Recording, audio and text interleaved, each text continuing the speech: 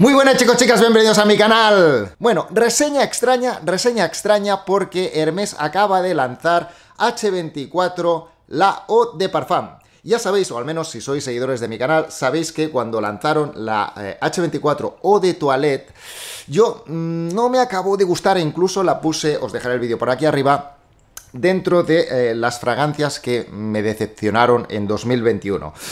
Pero, pero, pero... Eh, puede ser una reseña interesante porque a lo mejor, mm, no sé, a lo mejor cambio de opinión. Vamos al vídeo.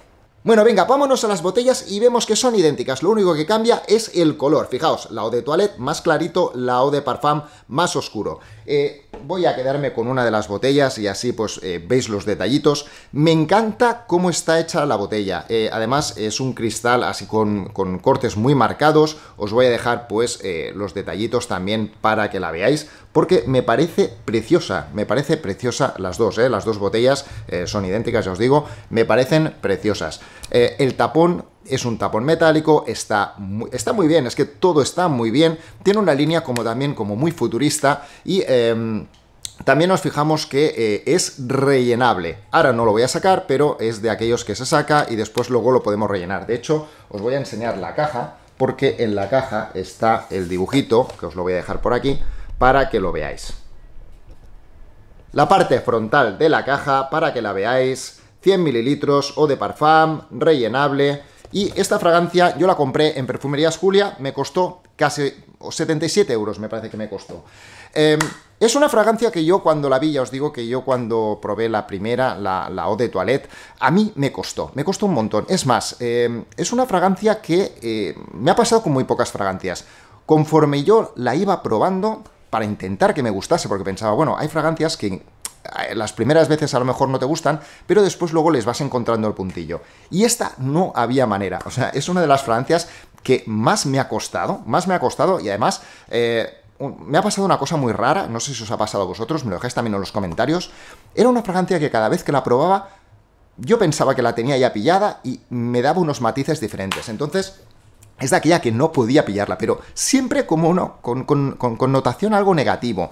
Eh, me daba una sensación como si estuvieseis oliendo eh, la parte de, la, de, una, de, una, de una planta cuando la rompéis. No rompáis las plantas que tienen vida, por favor. Eh, pero ya me entendéis, ese aroma como muy verde... Había algo ahí que no me gustaba, es una fragancia que me ha costado mucho. Había gente que también decía que la parte está metálica que le da el esclareno, es, es, molécula sintética. Le daba un punto como si fuese el aroma, como si estuvieseis planchando, el aroma de la plancha, el, aroma del vapor. Es un aroma limpio, eh, supongo que hay mucha gente que le ha encantado este aroma, de hecho eh, es una fragancia muy, eh, muy, muy polarizada, tenéis gente que le encanta la fragancia y gente que no la puede soportar. Es curioso porque después luego, ya os diré que ahora cuando entraré con el tema de, de, notas y un poco lo que me pasó a mí con esta fragancia, luego vamos a ver pues que también puede ser que vayas cambiando o te vayas haciendo un poco al aroma. Bueno, en el website de Hermes tenemos que la eau de toilette lleva las notas de salvia, narciso, palisandro y el esclareno. Y la eau de parfum lleva salvia, musgo de roble y esclareno. Venga, me voy a echar en este caso primero la eau de parfum para ver si me recuerda a la eau de toilette. Yo las he estado probando estos días, pero bueno, para hacer bien la prueba. Vamos a hacer bien la prueba y me la voy a atomizar aquí. 1, Vale, ¿me recuerda un poco a la eau de toilette? Sí, un poquito, pero eh, no tiene esa connotación negativa que yo siempre le asociaba a lo que es la eau de toilette.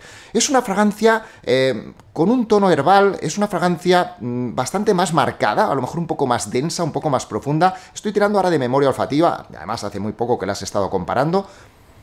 Pero la sensación que me dio cuando yo la probé en Perfumerías Julia, además solo quedaba una caja, fue de, wow, me la llevo, me la llevo. Me gusta esta fragancia. ¿Qué pasa con la de toilette? ¿Por qué había esto? Voy a atomizarme directamente ahora la de toilette. Esta es la de toilette. Me la atomizo aquí en el otro lado. Y vamos a ver aquí. Uno. Y ahí está, ahí está esa pequeña diferencia, o esa nota que es como... es rara, es que es rara, es esa parte metálica. Eh, me sorprende porque eh, están las dos, o sea, lo que es, si es la parte del esclareno, que dicen que es tono metálico, al menos lo dicen también en la página, en el website de Hermes, también en lo que sería la eau de parfum está, pero son diferentes, son diferentes. Eh, me gusta mucho la eau de parfum. Em, es más musgosa. Yo reconozco que soy muy fan del musgo de roble y entonces como esta fragancia lleva musgo de roble, yo a mí me encanta, me encanta esta fragancia. Em, curiosamente, curiosamente, al ir probando esta fragancia, la estuve probando en piel, la estuve probando pues en ropa, la estuve probando pues en... yo lo voy probando todo, en lo que es papel secante, eh, solo vistiendo por ejemplo esta fragancia, eh, a veces también comparando con la, comparándola con las dos, pero me ha pasado una cosa muy rara y es que usando esta fragancia, después esta, la eau de toilette, se me ha hecho como más llevadera. Es súper curioso, no me digáis por qué. Misterios de la perfumería, misterios de los aromas, de los olores, de yo qué sé. Es bien curioso porque, em, de hecho, esta fragancia ahora incluso la encuentro agradable. Es verdad que cuando la atomizo por primera vez me da ese puntito que me recuerda, yo creo que aún el cerebro está ahí como diciendo, esta era aquella, pero es como más llevadera, es como más fácil. Eh, tengo que, reconocer que esta fragancia, conforme van pasando las horas y la llevas puesta, tiene un, aroma como dulcito, te va quedando como un, olor más dulce que esta no tiene. Esta es una fragancia que es más oscura, ya, digo, es mucho más densa, es mucho más, em, más profunda, eso lo da el musgo de roble. Es una fragancia que queda, al menos a mí, siempre me da un puntito como mentolado, eh, pero muy de fondo, eso siempre me lo da a mí el musgo de roble. Em, por eso hay gente que a lo mejor la compara con eh, Mousse Illuminé de eh, Roger Parfums, que es, que la tengo, la tengo aquí. Eh, yo tengo un, un Dican pequeñito y es una fragancia que es bastante curiosa porque tiene el musgo de roble muy acentuado. La tengo atomizada aquí. Y eh, tiene este puntito también dulcito que tiene, la, que tiene la eau de toilette. Puntito dulcito. Pero en cambio tenemos el musgo de roble que eh, tiene esta parte como mentolada que tiene la de, mm, la de Mousse Illuminé. Que me recuerda, y es verdad, que recuerda al musgo de roble que tiene eh, la de la H24 o de Parfum. Pero la de la Mousse Illuminé es más dulce. En cambio, la eh, esta o de, lo de, o de Parfum, H24 de Parfum, no tiene nada de dulce. Ahora, ahora entraré con el tema este para que veáis un poquito el rollo este. Eh, si queréis hacer, bueno, ya lo digo directamente, si queréis hacer una fragancia eh, que dé otro, otra tonalidad, probad hacer layering de las dos. Es súper curioso, ¿por qué? Porque le estáis dando ese punto dulce que tiene esta, se lo estáis dando a esta. O, si queréis, eh, la profundidad que tiene esta, se la dais a esta. Entonces, el layering de estas dos sí que me recuerda más a lo que sería... Uy, me pensaba que se me caía. Mm. Eh, sí que me recuerda más a lo que es eh, mousse illuminé, porque tiene esta parte dulcita, esta, y tiene el musgo de roble, entonces la parte dulce que tiene, os estoy metiendo un rollaco, la parte más dulce que tiene esta fragancia y la parte de musgo, que, de musgo de roble que tiene esta fragancia, la combinación en el secado es una fragancia que se acerca más a mousse illuminé. Comparando las dos fragancias, la eau de toilette y la eau de parfum, son diferentes. Es que son diferentes. Te puede recordar directamente a que estáis oliendo pues, un flanker. Eh, sí, es que, es que lo recuerda. Pero es diferente, es que es bastante diferente. Ya os digo que eh, tiene esta, esta, estas diferencias. Esta también es más fresca. Es una fragancia que se va más hacia la parte como más fresquita. Eh, es tiene esta parte herbal, eh, un poco, esta es herbal oscura, esta es un, es un, herbal más metálico, y aquí sí que se nota más la parte metálica, en cambio en esta no tiene esta parte tan metálica. Eh, si vamos a lo que es la evolución de las fragancias, en esta vemos que eh, conforme va avanzando en el secado, esta parte dulce es la que va florando. En cambio en esta, como no tiene esta parte dulcita, yo creo que lo que es la evolución de la fragancia, en este caso, es como más lineal, una fragancia que si nos ponemos a... Y, es curioso, ¿eh? porque eh, yo digo que esta yo creo que me ha gustado más. Evidentemente también porque tiene el musgo de roble y es una nota que a mí me encanta.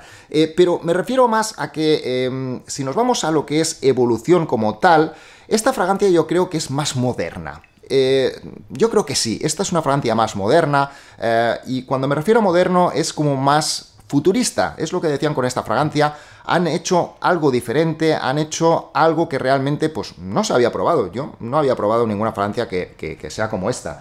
En cambio, esta sí que nos puede recordar a fragancias a lo mejor un poco más clásicas. Y es bien curioso, ¿eh? porque ya os digo que es, eh, es esa cosa rara, ¿no? Que dices, bueno, fragancia más futurista, después de golpe porrazo, sacan esta fragancia que eh, suben el musgo de roble y la convierten en una fragancia pues, más lineal, que no tiene esa ruptura ¿no? que, tiene esta fragancia. Aquí esta se convierte en una fragancia pues, más clásica, si queréis. No sé, eh, decídmelo también, me lo dejáis en los comentarios, porque es que esta reseña me ha parecido, llevaba, llevaba días también dándole vueltas y me ha parecido bastante curiosa. Si nos vamos al tema de duración, a mí son dos fragancias que me funcionan bastante bien. Es verdad que la gente decía que la eau de toilette eh, la ibas perdiendo. Y es verdad que la eau de parfum en este caso dura más. Si queréis algo también, eh, y que también como lo he estado probando, si queréis que la fragancia os dure más, eh, haced el layering. La fragancia, las dos fragancias combinadas con layering, dura muchísimo. Otra de las fragancias que también va en ese estilo y que yo la primera vez que la probé mm, no me gustó, o sea, no me gustó, no me llamó la atención y después luego la probé la segunda vez, iba con una amiga y me dijo, te huele genial en piel. Y yo cuando la... y es verdad, porque la, olía decía, es que es súper adictiva, me la tengo que llevar. Y además la cogí en formato grande. Es Synthetic Jungle de Frederick Mal. Esta es una fragancia que también va en ese tono herbal. Y la probáis y directamente cuando probáis tanto la Eau de Toilette, que las tengo cambiadas, esta es la Eau de Toilette de, de Hermès, la H24 Eau de Toilette y la eau de parfum, eh, son fragancias que también te, eh, te, llevan a ese tipo de fragancias herbales y todo esto. Eh, vuelvo a lo mismo, si queréis algo también, mm, no, no se parece tampoco, si probáis por ejemplo la de Mousse Illuminé, no es una fragancia que os recuerde como tal, pero en el secado, cuando combinamos, cuando combinamos las dos fragancias, sobre todo en el secado, sí que puede daros un poco la tonalidad de, la de Mousse Illuminé. Yo la veo diferente, son fragancias diferentes, las cuatro, tanto Mousse Illuminé como Synthetic Jungle, la Eau de Toilette de H24 y la Eau de Parfum de H24, pero tienen cositas en común. Son cositas de aquellas que dices, vale, si os gusta cualquier tipo de fragancia esta, os va a gustar la otra. Yo creo que la, la diferente es la H24 de Toilette, pero por el tono este metálico diferente que tiene que la convierte en una fragancia curiosa más que curiosa. Em, yo la verdad es que mm, le estoy dando una oportunidad, me está empezando a gustar más. El secado me gusta más, la salida me parece un poco aún chocante. Yo creo que me voy a ir me voy a acabar acostumbrando porque estoy viendo ya, ya cambios. Pero em, no es como esta que ya de entrada cuando la probé me encantó. Esta me encantó. Yo creo que es una fragancia que, eh, si os gusta, ya os digo, musgo de roble, os gustan las fragancias herbales, eh, y no me voy a ir directamente a un pelín clásica, pero, pero va por ahí, va por ahí, ya me entendéis. Esta fragancia os va a encantar. Tema de eh, unisex, chicas, chicos, yo las veo unisex. Eh, es una fragancia que la Eau de Parfum, curiosamente, cuando pregunté ahí en Perfumería Escuria, me dijeron que les había gustado más este nuevo lanzamiento, la Eau de Parfum, que la Eau de Toilette. Pero Mm, ya vemos que después luego las chicas usáis fragancias que eh, a veces pueden parecer muy masculinas y después luego os, acaban gustando. Yo sé que hay gente que también estaba utilizando la de toilette, por tanto, si os gustan las fragancias a lo mejor eh, un poquito más densas, un poquito más oscuritas, yo creo que la Eau de Parfum también os va a gustar. Eh, evidentemente, si nos vamos a Mousse Illuminé, una Francia mucho más marcada, con, musgo de roble muy bestia, algo más heavy, más acostumbrada a, aromas nicho. Entonces, yo sé que hay chicas que también la estáis llevando, lo mismo que Synthetic Jungle, una fragancia que también, claro, entra dentro de lo que sería nicho. Esta es una fragancia un poco más herbal, pero es más fina, una fragancia que tiene otros tintes, es mucho más llevadera. Una fragancia, esto es extraordinario, además con una duración eh, súper bestia, tanto Illuminé como la de Synthetic Jungle, eh, super unisex. Estas sí que son super unisex, pero os tiene que gustar también esta parte fresca, herbal, etc. ¿Vale? Chicos, chicas, yo no sé si eh, las habéis probado, si habéis probado este nuevo lanzamiento de Hermes, ¿qué os parece? Em, se me olvidaba, eh, la perfumista es Christine Nagel. Christine Nagel yo creo que también está haciendo un buen trabajo, sé que es, claro, sustituir a Jean-Claude Helena es complicado, pero ya con Ogibre de, de, de, Hermes, de Terre de Hermes, a mí me pareció fabulosa. Y este último lanzamiento también me ha parecido fabuloso. Em, ya os digo que también pues estoy redescubriendo otra vez la, EDT para ver qué tal y estoy viendo cositas que pues a lo mejor pues te falta. Es que el tema de perfumería, os digo, es así. A veces hay cosas que os gustan un montón, que después luego al cabo de tres veces que la lleváis, mm, decís, me ha aburrido, me ha cansado, ya no quiero más esto. Y justamente al contrario, perfumes que, o aromas, o olores que al principio nos chocaban, eh, después luego nos van gustando, nos vamos acostumbrando, le vamos encontrando algún rollo diferente y son las fragancias que realmente nos gustan después. O sea que eh, bienvenidos al mundo, sobre todo los nuevos, bienvenidos al mundo cambiante del tema de los aromas. Así que nada, chicos, chicas, me lo dejáis también en los comentarios, también vuestras cosas raras que habéis encontrado con olores, olores que os han llamado mucho la atención y que ya no, o, al revés, y también, pues eso, si habéis probado pues la nueva Eau de Parfum, para ver qué tal, ¿vale? Eh, en los comentarios, así la gente os lee y nos vamos intercambiando información. Chicos, chicas, si os ha gustado el vídeo, por favor, suscribiros para darle apoyo al canal, dadme un like, activa la campanita para recibir las notificaciones de los vídeos y nos vemos en la próxima reseña. Bueno, cuando estuve comprando también en Perfumerías Julia, eh, me llevé dos cosas que me encantaron, me encantaron. Una es eh, esta, que es O de campaña de Sisley, es esta fragancia. Yo no la había probado, no la había probado. Y fijaos que lleva años, esto lleva años y años y años. Eh, me encantó, me encantó. Em, la traeré en un vídeo que tengo pensado, ya, ya, ya, ya os, ya os enseñaré.